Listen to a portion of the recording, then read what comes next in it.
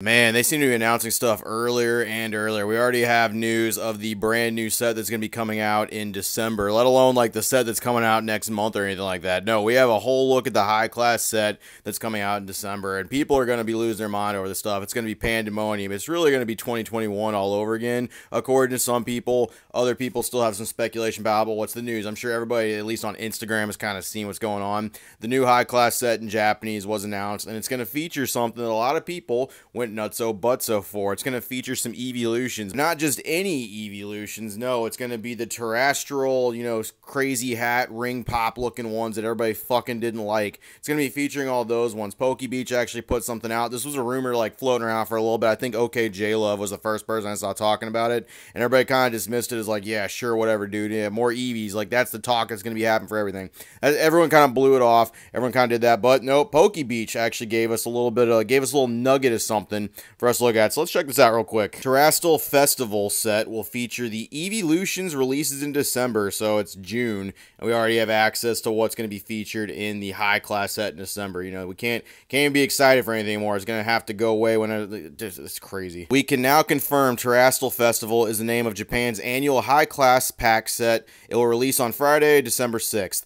The set will feature Eevee and its popular evolutions as Pokemon EX. Presumably, they will be Tera Pokemon. So at this point, there's a whole lot of speculation. We know Eevees are going to be featured, and I'm assuming they have like an inkling for why they're going to be Terastal. I'm assuming it's because of the name of Terastal Festival, and that's for the new Terastal Pokemon that are going to be coming out with all that stuff too. But of course, uh, ultimately, this whole thing is going to be you know subject to change or anything like that. Releasing alongside the set will be products featuring Eevee and its evolutions, including a bunch of sleeves, collectible files, rubber mats, damage counters, a whole bunch of stuff. You know, plush cases, all the whole thing. It's going to be an Eevee good time. Everybody lost their mind over this, by the way. As posted before, a Stellar Sylveon EX pre-constructed deck is releasing in Japan on August 30th, so we'll be treated a little bit to evolutions already. But this is interesting because they really didn't like say a whole lot, but everybody kind of went a lot with this stuff. So if this is true, let's just assume this is true at this point. So there's going to be terrestrial evolutions. They're going to have the crazy hats, the things that everybody does not like about Scarlet and Violet per se, right? Fucking everybody just wants to write that off and say it doesn't even matter, right? So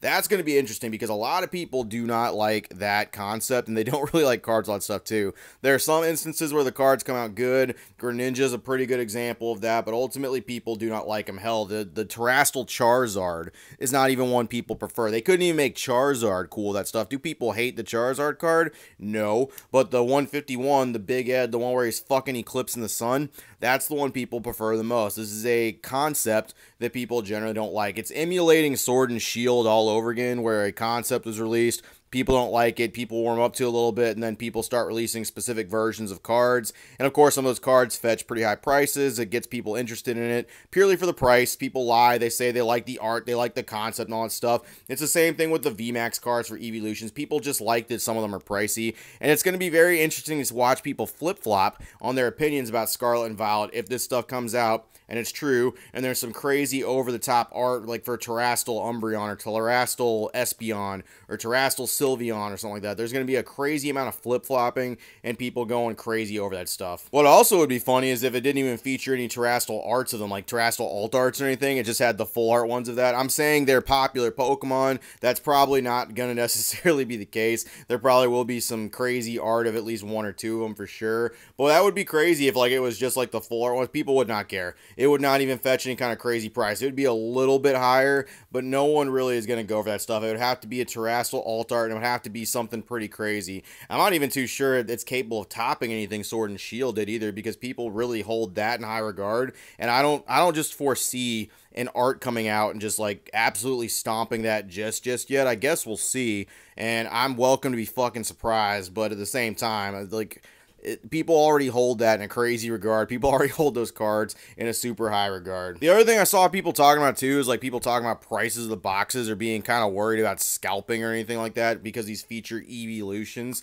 And the whole thing of that just made me laugh because it's like, when have people cared about scalpers to begin with? I mean, 2021, people obviously paid that price. Like people asked for some crazy prices for some Eevee heroes and it didn't stop people from opening them up. It didn't stop people from chasing cards. It's not going to stop people now either. People really don't care care that much about scalpers. You can tell because of what they're willing to spend their money on. If they actually buy product at those crazy prices and their defense is, well, I got to make product, I got to make content, I got to do this, I got to do that. They ultimately don't care about the scalping in the first place. And honestly, they probably feel a little bit better about it because it's a little more exclusive. They get their hands on some pricier stuff. It's an even bigger flex because you have that and a lot of people don't, or some people don't, or you can get a lot of it. You're going to drop $2,000 on eight boxes because someone in Japan said it needs to be $250 and you're like, "Well, okay, I guess that's the price." And then it just becomes even bigger flex for people. It's uh, people don't fucking care about the scalping and like people acting like they're not going to buy it if it's like a crazy price is also ridiculous. Only a few people have ever put their money where their mouth is regarding that and it's not it has not been a whole lot of people. They just ultimately were like, "Yeah, I'm still going to buy. I'm still going to fucking get it. I don't care." And then with the fall of Japanese card prices as well, is it even going to be something people care about? Is this going to really resurge the Japanese market once again? A lot of people are saying the Japanese card market is crashing, it's falling down, it's going in shambles. When all actuality, the market market itself is just correcting. It's literally going back to the way it was before people pretended they liked Japanese cards in the first place. It's it's kind of crazy. I have some of the best Japanese cards that you can get. Some of the craziest ones from the Sun and Moon era, the Sword and Shield era, the XY era, and it's because they used to be dirt cheap. I do not have a ton of money, far from it. I was able to pick these up because nobody was interested, nobody really cared, no one knew that these were really out there, and a lot of people hopped on and pretended. The full art trainer market, that is an easy example of people hopping on a market just to pretend that it's something they like and then watching it down. Then they blame like the card itself. They blame the Japanese card for like the stock going down or the price going down. The, the people aren't interested in this stuff. And no, they're not. But people pretended that they were so they could sell people something they did that they didn't really like anyway. Like it's very obvious for that stuff. I'm very curious how this is going to affect the Japanese market as well because people pretending that they like these cards once again for the sake of being able to get some high class stuff first in order to actually flex on that whole thing. In order to get some evolutions, in order to chase some evolution alt arts for something they're going to sell the second they can get the English version of that stuff instead. It, it's just, it, I, I don't know.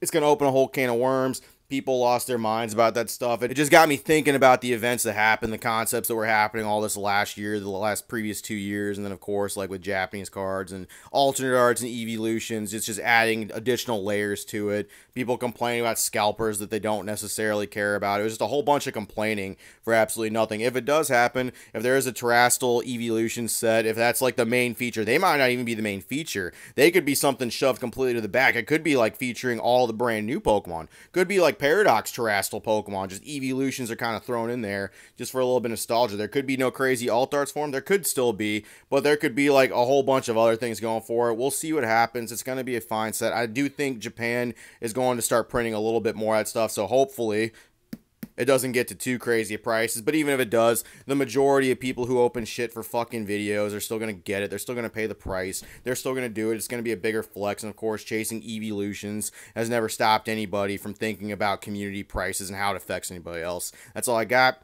Appreciate it, Virgin. See you later. Have a good one. Ooh, more Eevees. Eevees 2.0, Eevee Heroes 2.0, Eevee fucking Inception. Eevees everywhere.